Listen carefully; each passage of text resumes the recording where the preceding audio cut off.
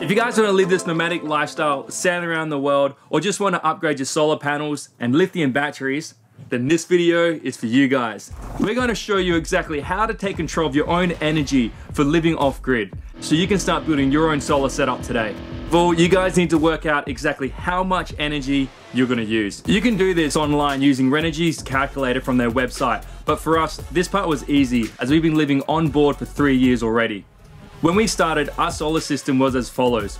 540 amps of lead acid batteries, 600 watt inverter, 30 amp battery charger, 80 amp alternator on our engine, no solar panels, and a 5 kilowatt generator. Before setting off on our journey around the world, we installed 640 watts of Renogy solar panels on our Bimini. These worked great, giving us about 200 amp hours of charge on average per day. But charging lead acid batteries is difficult and a long process. Basically, you have a three stage charging cycle. Bulk charge, which slowly charges them up to about 80 90%. Absorption mode, which takes hours to get to that last 10%. Then float mode, which is basically just as they're fully charged, it just keeps trickling in. To live off grid comfortably, there's just not enough hours in the day to fully charge our batteries to get that like last 10, 20% charge unless we had about 1200 watts of solar. So this is when lithium iron phosphate batteries really come in handy. We have 400 amp hours of Renogy Smart lithium iron phosphate batteries. You might be thinking, why do we only get 400 amp hours of battery power when we had 540 of lead acid? Well, lead acid and or AGM batteries should always be kept as full as possible, never going below 50% or even higher. So what should last five years only has lasted us about two years as a liveaboard. So this means our 540 amp hours of lead acid batteries that we had only gave us 270 amp hours of usable battery storage. Our new 400 amp hours of lithium batteries can be drawn right down to about 10% comfortably, giving us 360 amp hours of usable power. And to top it off, we can charge them extremely quickly, up to about 200 amps per hour. So we don't need to do any of this trickle charging anymore. With the built-in BMS, the batteries all talk to each other as well to safely charge and discharge while monitoring temperatures of each cell, giving me real-time overall monitoring rather than the guesswork we had with lead acid and AGM batteries. With these batteries, we have the power and storage to run all our appliances, induction cooktop, kettle, wash machine, microwave, charge all our camera equipment, laptop, fridge freezers, navigation, Actually, hang on. Some of these things aren't even 12 volt, they're 220 volt, which brings us to the next piece of the puzzle here. We have a fantastic inverter which allows us to run 220 volt appliances straight from our 12 volt lithium batteries. We have the Renogy 3000 watt inverter charger. Not only does this convert 12 volt DC power for our batteries to AC power on our boat, but when connected to shore or a generator, we also charge our batteries up to 80 amps per hour when we need it. But to be honest with you guys, we predominantly get all our charge from our 640 watts of solar panels up on our Bimini. We produce on average 2.2 kilowatts of electricity per day. That means we've reduced over 2,500 kilowatts of electricity from the sun on our journey so far. To convert the sun's energy to charge our lithium batteries, we need what's called an MPPT solar charge controller. Oh, that's the good stuff. now we have two of these Renogy 40 amp charge controllers with the maximum amount of solar panels between the two charge controllers. We could potentially charge up to 80 amps per hour from the sun. But right now, we charge at about 40 amps per hour between all our solar. Don't worry guys, I'll put all these links in the description below. But don't forget to subscribe to our channel and like this video. So once you know your energy needs from the Renogy's website and what these items are, it's time to start installing. There's still a couple more things that we need to complete this setup. But luckily, Renergy has completely simplified the whole process and I'm gonna show you how we set up our system. And once you're done watching this, you'll have a much better idea how your boat system works and how you guys can easily upgrade your boat to live completely off-grid and be more self-sufficient. Find a suitable place to install your lithium batteries. We made a base to strap them in and put them under the floor in a bilge that never gets wet. Keep in mind, you want to make sure they're in a sufficient spot to run all your cables to the shortest distance possible with adequate airflow. Because things can heat up and these cables are quite thick. We use 3 aught gauge cables because our runs are all under 1 meter. We made all our battery cables the exact same length and installed 100 amp battery fuses on each terminal of the batteries using these terminal fuse blocks. Next, we need to run a cable to the battery isolation switches on our boat. Although these smart batteries are actually turned off through the BMS, please make sure all the battery isolation switches are off when doing this work, as you still don't want to have any unexpected shock. Alright, step three guys. Next, I installed the 3000 watt Renogy inverter charger. I placed it as close as possible to the batteries in its own well ventilated area. I simply connected the positive and negative cables using 3-aught cable, making sure I installed a 300 amp fuse on the positive cable. I use 3-aught cables because they're only about 6 inches long. The inverter has a remote switch to turn it on and off. This is simply just to plug it in and Bob's your uncle. Now, as the inverter charger converts DC power to AC and vice versa, let's just stand the whole DC side of this install right now, and I'll go through all the AC connections later.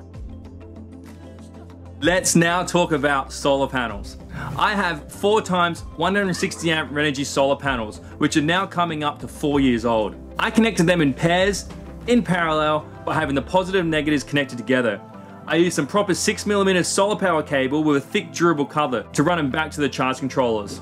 For the length my cables are, this gives me a maximum of 30 amps of current I can safely run through these cables. So I use 30 amp isolation switches between the panels and the charge controllers.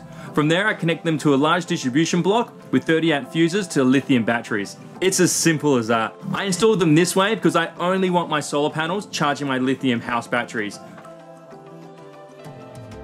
So now I also need to charge my bow thruster batteries and my engine start battery. For this, we're mainly just gonna be using the alternator on our engine, but we need to keep the lithium house batteries separated from the other batteries. We can do this by using the Renogy DC to DC charge controller, which is also easy to install. But you're gonna need to do some research on your boat to see how it's all wired up because you're gonna have these things called battery isolators. Basically, these battery isolators allow power to enter into them and will charge any batteries connected, but keep it separate. This means you can have all your AGM, lead acid, and lithium batteries connected together through the battery isolators, but they still get charged together. I hope that makes sense. So let's get started with the 50 amp DC to DC battery charger. Keep in mind all the negative cables in this system run straight back to the negative isolation switch. So whether the AGM, lead acid, or lithium, the negative cables don't matter. First, we disconnected the lithium house batteries completely from the battery isolator. We kept the positive charge cable from the engine alternator, bow thruster batteries, and the engine start battery connected to the isolator. This way, the alternator will charge both our bow thruster batteries and engine start battery. We also kept our old battery charger to only charge the bow thruster and engine battery as a backup. We want to connect the new lithium house batteries to also charge from the alternator. So we just simply connected the engine start battery to the lithium house batteries through the 50 amp DC to DC charger with some fuses in between. And that's it. So the reason we can't connect our lithium house batteries directly to the battery isolator is because these lithium ones will take the maximum charge they can take continuously and that will just burn out our alternator. So we need to limit this charge. That's why we have this 50 amp DC to DC charger so we can limit the charge from anywhere up to 50 amps continuous.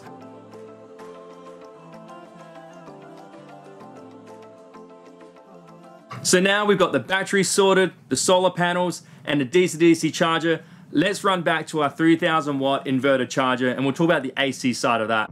We have two 20 volt AC circuits on our boat, which is already set up with shore power and our 5.5 kilowatt generator. So all we need to do now is run the 220 volt circuit down from our switchboard to the input of the inverter charger. And as for the outputs, I simply ran a whole new circuit through a different switchboard connected to a few isolated power points throughout the boat for our inverter. Originally, I was just gonna tap into a whole 220 volt circuit on the boat, so every power point worked with the inverter. Because the Renogy inverter charger has a bypass mode.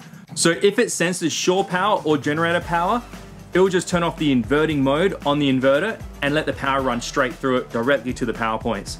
I personally want to keep the boat circuit completely isolated and separate, so I have the option to keep the inverter charger off while I run the generator or connect to shore power, so we can use as much power through the whole boat rather than be limited to 3000 watts.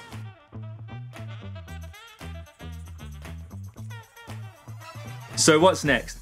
Well, Renogy sell a communication hub. This hub connects all your equipment together using a communication cable. This is extremely easy to connect. You simply connect everything to the communication hub, then connect a Bluetooth module so you can view everything from your Renogy app on your phone or iPad. Now they've just released the Renogy One, which is an all-in-one battery monitoring system display and we'll definitely get this soon. On our system, we had to buy separate Bluetooth modules for the solar charge controllers that we picked. But if you buy the 60 amp MPP controller or anything from the Elite range, you can use the one Bluetooth module for all the equipment just by simply connecting it to the communication hub.